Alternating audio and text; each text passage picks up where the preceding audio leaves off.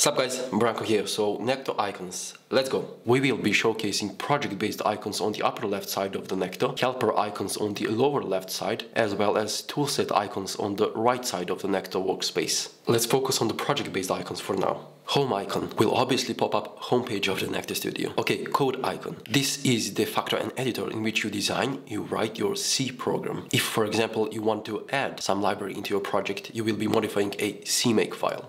We will talk about CMake in depth in future, so don't worry too much if you do not understand this. Build icon. By clicking on it, you will initiate a rather complex under the hood process of examining all the project files you've created.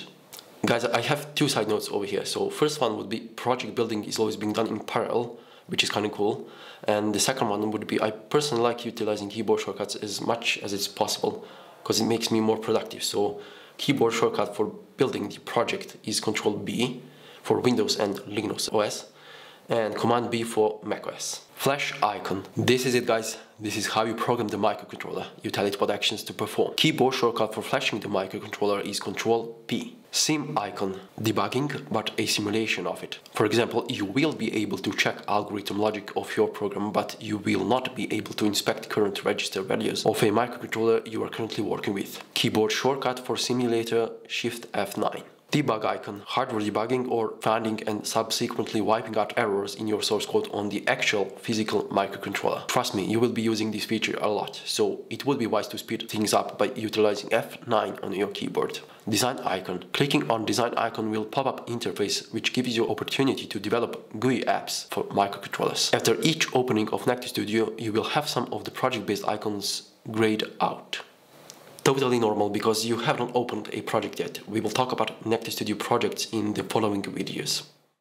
Now we will be focusing on the icons on the bottom left side of a workspace. Web icon opens up a web page from which, for example, you can explore potential product for your future embedded project. Help icon. Clicking on help icon redirects you to Necto Studio help page, which we already discussed in the previous episode. The link to this video will be in description down below.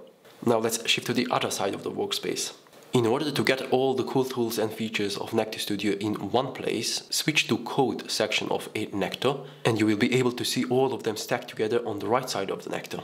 Keyboard shortcuts to activate these tools, Control plus number on keyboard.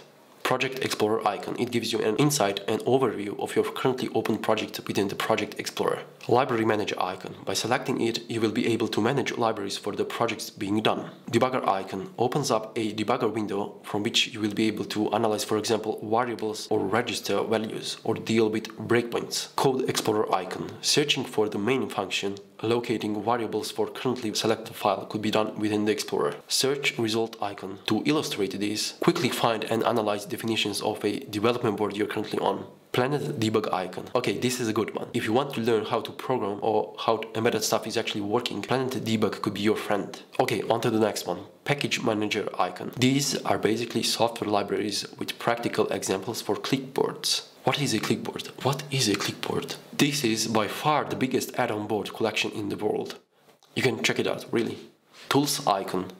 Basic toolset for embedded developer professionals. AI question and answering assistant. Ask some embedded question that is bothering you, select some filters, and you'll be provided with possible answers. Okay guys, I'll be talking about all of those Necto tools and features in details in the subsequent episodes. Thanks for watching, catch you with the next one.